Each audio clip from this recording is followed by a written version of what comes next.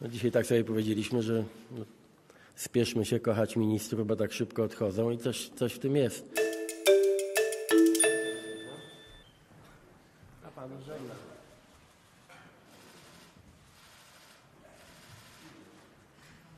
Dzień dobry Państwu. Zgodnie z zapowiedzią o 9.12 jesteśmy punktualnie. Pan premier.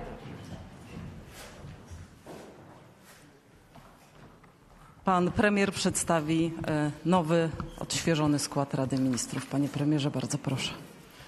Witam Państwa serdecznie. Tak jak y, już od dłuższego czasu informowaliśmy, dochodzi do pierwszych zmian w rządzie, kiedy zaczynaliśmy pracę y, jako przedstawiciele koalicji 15 października, kiedy tworzyliśmy rząd. Z góry zapowiadałem, ci, którzy mnie znają i pamiętają z dawnych lat, z pierwszej kadencji premierowania, wiedzą, że nikt włącznie ze mną nie powinien się przywiązywać za bardzo do, do myśli, że jest wieczny. I y, ta zasada y, wynika z takiego głębokiego przekonania, że my jesteśmy tutaj po to, żeby maksymalnie, optymalnie wykorzystywać możliwości, okoliczności i liczy się wyłącznie interes, interes publiczny, interes państwowy. Dlatego y, nie ma się też co doszukiwać jakichś y, tajemniczych okoliczności. Ministrowie, którzy y, dzisiaj żegnają się z państwem w roli ministrów, wykonali swoje zadanie, jakie postawiliśmy sobie, jakie mm, i oczekiwałem od tych ministrów działania efektywnego, czasami twardego. Y, Te pierwsze miesiące i chyba dobrze mnie zrozumiecie, kiedy użyję tej, tej metafory, ale to były miesiące rozbijania muru. Y, Dzisiaj nadchodzi czas porządkowania. I to jest jeden z powodów, dla których nie dotyczy to każdego przypadku, ale dla których y, zdecydowaliśmy się wspólnie na te zmiany. Chciałem bardzo serdecznie podziękować, tak będę patrzył pierw na moją prawą stronę, panu ministrowi Hetmanowi. Bardzo dziękuję Krzysztofie za kawał dobrej roboty. Tak się umawialiśmy z tobą, drogi ministrze, z panem premierem Kośniakiem Kamyszem, szefem twojej partii, że będziesz y, intensywnie pracował przez pierwsze miesiące naszego rządu, tak aby uporządkować kwestie, które y, są w gestii ministra rozwoju i technologii. Jeszcze raz bardzo dziękuję. Podobnie Borys Budka, drogi przyjacielu, bardzo dziękuję za tę trudną i bardzo niewdzięczną misję, jaką były te pierwsze miesiące porządkowania i przebudowy y, spółek Skarbu Państwa. Chodziło zarówno o uzdrowienie sytuacji w spółkach Skarbu Państwa, ale też o początek takiej mm, wyegzekwowania najważniejszej zasady, jaką jest walka z korupcją, nepotyzmem i ten najtrudniejszy początek, to jest, jesteśmy tutaj w połowie drogi oczywiście, ale ten najtrudniejszy początek został wykonany. Dziękuję bardzo drogi Borysie, że robiłeś to i z klasą, bez emocji. Może nie wszyscy byli zadowoleni z tempa, bo niektórzy, ale właśnie dokładnie o to chodziło, żeby, żeby to nie było w zapale rewolucyjnym, tylko metodycznie, spokojnie, zgodnie z prawem i zgodnie z interesem publicznym. Jeszcze raz bardzo dziękuję. Bartłomiej Sienkiewicz, tu nie muszę, no są zresztą przedstawiciele także mediów, którymi bezpośrednio pan minister się zajął, więc nie muszę mm, opowiadać tej burzliwej historii ostatnich kilku miesięcy. Yy, Panie ministrze drogi Bartku, my umówiliśmy się na szczególnie trudne zadanie. Chciałem bardzo podziękować w imieniu wszystkich, przede wszystkim w imieniu widzów yy, i w imieniu całej opinii publicznej, dla której uzdrowienie w mediach publicznych sytuacji zarówno pod względem politycznym, organizacyjnym było jednym z zasadniczych zadań, jakie nałożono na koalicję 15 października. Jeszcze raz dziękuję za wykonanie zadania. Będę o tym nie tylko ja bardzo długo y, pamiętał i życzę powodzenia w nowej roli. Mm, Pan minister Marcin Kierwiński zaczął bardzo spektakularnie swoje urzędowanie, chyba ku satysfakcji wszystkich, którzy wierzyli w to, a to w Polsce nie jest tak łatwo uwierzyć, że idzie się po władze po to, żeby egzekwować prawo, a nie żeby szukać własnych interesów albo szukać wygodnego sposobu sprawowania władzy. Podjął się mm, decyzji najtrudniejszych, y, niektórym się wydawały nawet może karkołomne, mm, a, no ale słowo karkołomne oznacza, że ktoś może kark złamać na tym, co robi. Marcin Kierwiński wykonał bardzo trudne zadania i mm, mm, przetrwał y, burzę, przetrwał mm, ataki tych, którzy myśleli, że bezkarność będzie na stałe wpisana w rzeczywistość Rzeczpospolitej.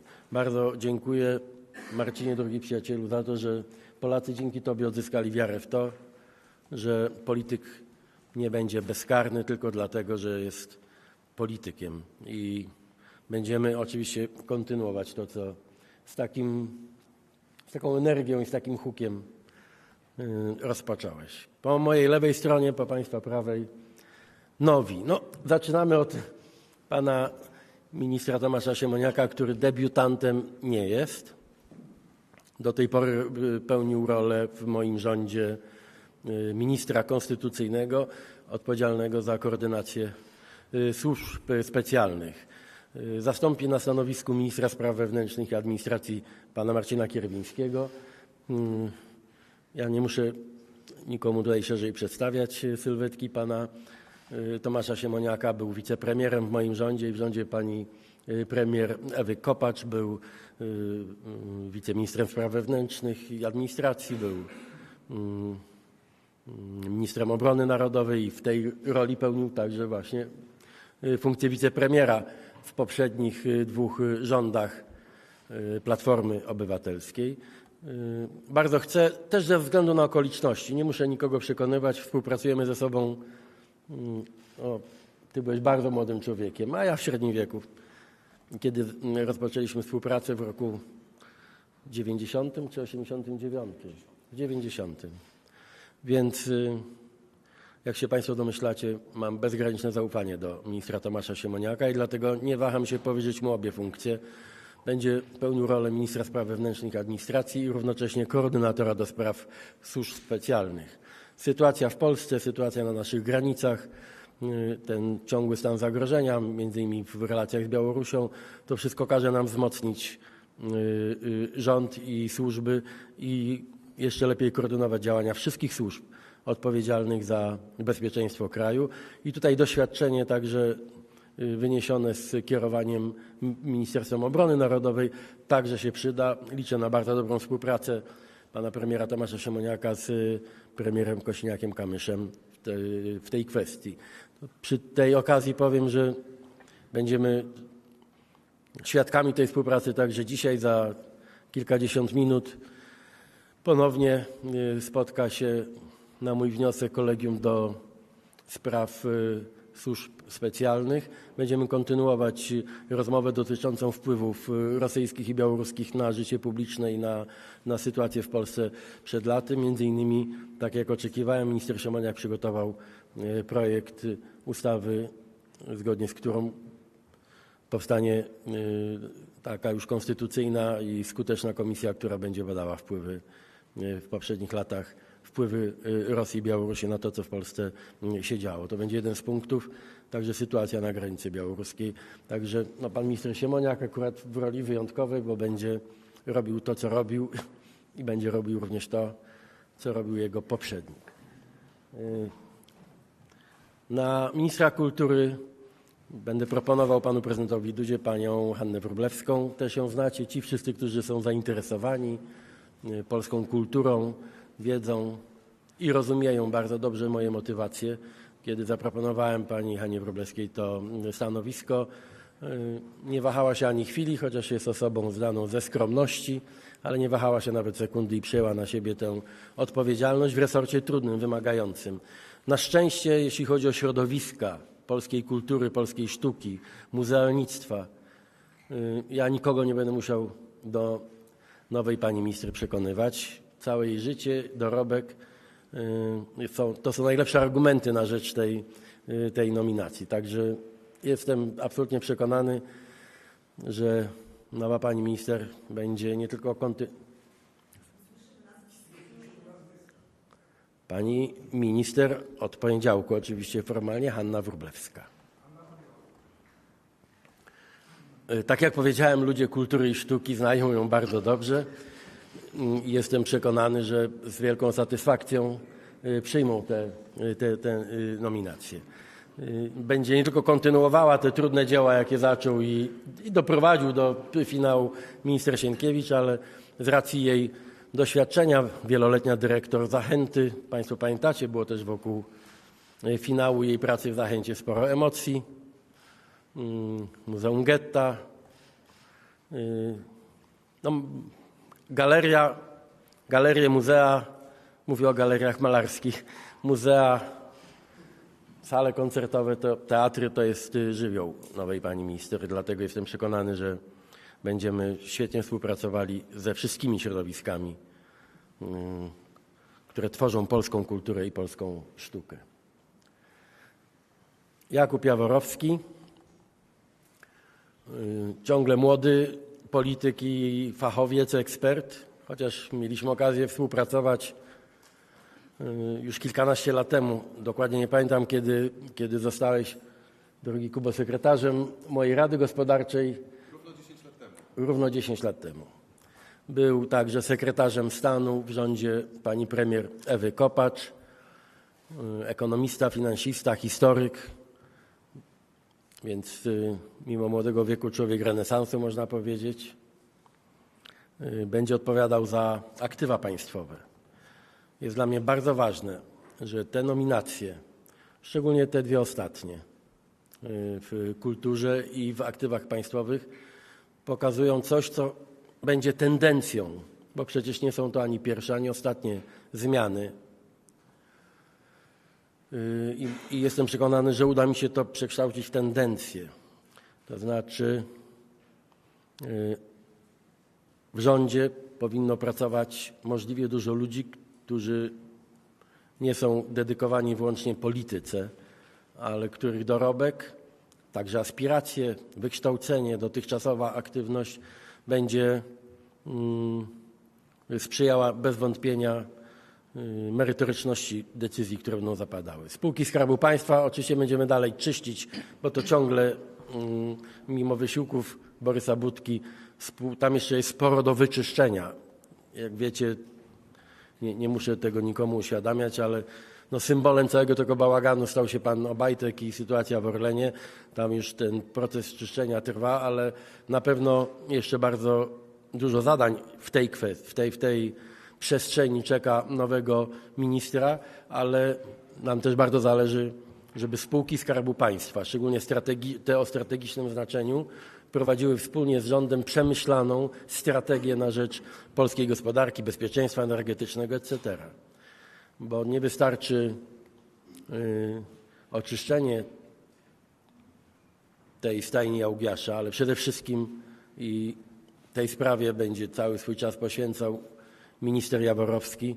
Musimy y, zbudować taką przemyślaną strategię, która będzie łączyła i budowała synergię pomiędzy poszczególnymi y, spółkami i także mm, rządem, bo będziemy musieli i chcemy prowadzić jednolitą strategię gospodarczą i finansową państwa polskiego. Także życzę powodzenia. Też gratuluję odwagi. Wiecie, tak się niektórym wydaje, że do tych stanowisk to są długie, długie kolejki.